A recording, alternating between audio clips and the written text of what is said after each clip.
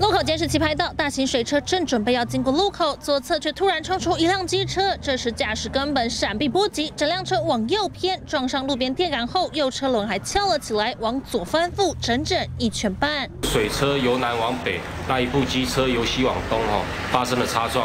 事故现场乱七八糟，电杆被撞断，水车零件四散，车头扭曲变形，钣金更是摇摇欲坠，就连轮轴也被撞到歪歪斜斜。因刹车后哦翻覆，那造成交通的拥塞，那所幸两方哦都只有受到轻伤。这起水车翻覆意外就发生在跨年夜，屏东盐埔外环道，由于四线道设计的又宽又直，导致这个路口超速又或是闯红灯的事故不断，加上大半夜骑士在穿越马路时没有注意到横向车况，才会酿成事故。骑士哦，他是闪红灯哦，他会注意。